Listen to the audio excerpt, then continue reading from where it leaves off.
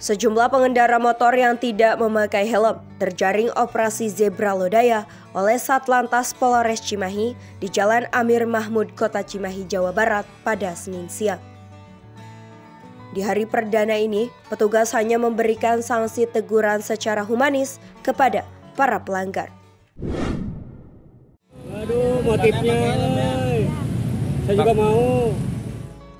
Di hari pertama operasi Zebra Lodaya 2023, sejumlah pengendara motor terjaring operasi oleh petugas Satlantas Polres Cimahi di Jalan Amir Mahmud, Kota Cimahi, Jawa Barat pada Senin siang.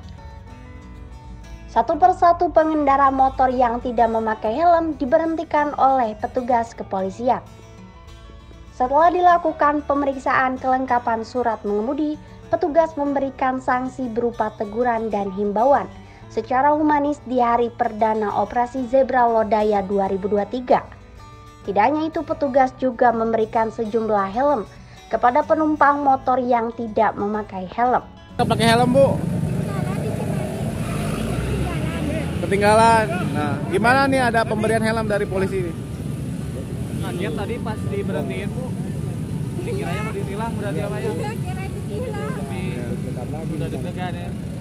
Selama uh, 14 hari. Adapun tujuan operasi ini adalah pertama ini kita untuk menekan angka pelanggaran lalu lintas, yang kedua menekan angka kecelakaan, yang ketiga menekan angka fatalitas korban kecelakaan, yang keempat meningkatkan disiplin dan kepatuhan masyarakat untuk berlalu lintas ini sangat baik.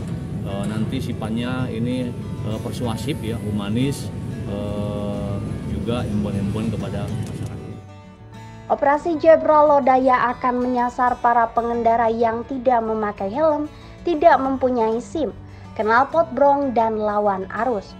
Operasi ini akan digelar selama dua pekan guna meningkatkan ketertiban berkendara di jalan raya. Dari tim liputan Jabar Express melaporkan.